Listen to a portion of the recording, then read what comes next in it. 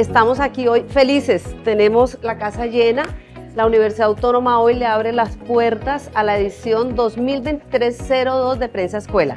Tenemos este semestre 220 estudiantes que van a disfrutarse toda la cátedra de periodismo escolar que tenemos preparada para ellos. Y la idea es que podamos eh, identificar aquellos temas que son de gran importancia, que es importancia transversal para la formación de los estudiantes.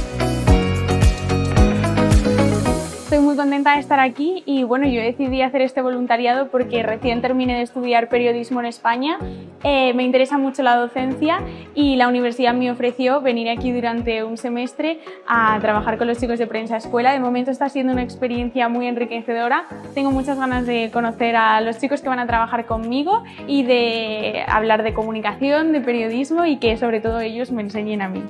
Eh, aquí le vamos a dar las las herramientas a todos esos que quieran estudiar comunicación, que se quieran guiar, estudiar periodismo. Desde pequeña me he visualizado presentando una noticia a nivel nacional e internacional y creo que este es el momento para iniciar esta linda historia en la que voy a tener mucho conocimiento y aprendizaje. No solamente esto hará parte de mi formación y la carrera que quiero estudiar, sino que voy a conocer mucha gente que va a ser parte de mí y la gente con la que voy a poder interactuar y conocer.